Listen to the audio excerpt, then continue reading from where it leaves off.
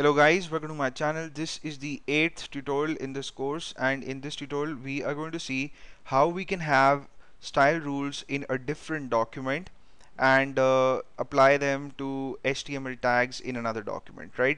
So as you can see I've got two documents opened up in my text editor. The one I have active right now is called external underscore css.html and this is a document in which I have all the HTML code but as you can see I do not have a style section per se in the head section and uh, I do not have any in inline styles either for any of the uh, headings that are present in my body section. So let's take a look at the body section first. So within the body I have uh, four headings and uh, they're all of different uh, levels. So I've got an H1 level heading an H2 H3 and H4 level heading as well. So in the head section as you can see I have a link tag right? And uh, this is used when you have all your CSS code in a different file and you want to pull out the style rules from that document and have them applied to the tags that you have in your HTML document. So you have to type in link give a space type in rel or rel give an equal to symbol there and then within double quotes you have to type in style sheet right? So this is going to instruct your browser that there is an external style sheet document through which the style rules have to be pulled. And then you have to you know put in your type uh, values so type equals text or css and then you have to type in the href attribute. So uh, people who have some experience with HTML would know what href is used for. You know it's used for external linking. So you type in href right href given equal to sign again and then within double quotes you have to type in the location of your css file. So you know I have my uh, css file in this folder.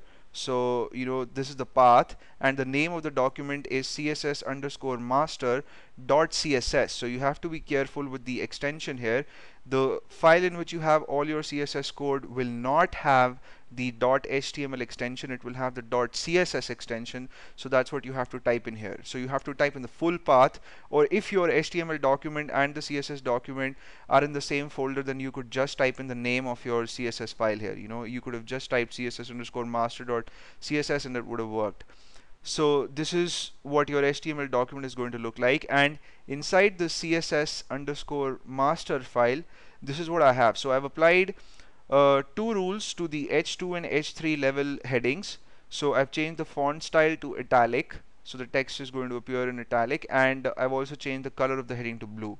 So now let's see how this uh, you know this this file is going to appear in our browser. So I'll go to the folder in which I have it. And it's called external underscore CSS when I double click on it this is what I see. So as you can see the level 1 and level 4 headings are appearing in black whereas the level 2 and level 3 headings are appearing in blue right? So this is how you can have uh, all your CSS code in one file and this is very popular. A lot of people do this. Instead of putting their CSS code in the same document as they have their HTML in they usually put it in a different file so that if changes have to be made they don't have to scroll down or look for tags or style rules and you know make the changes.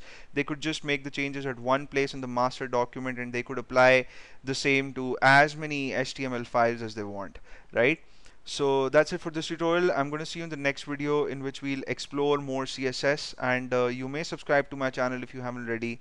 I'll see you soon. Till then take care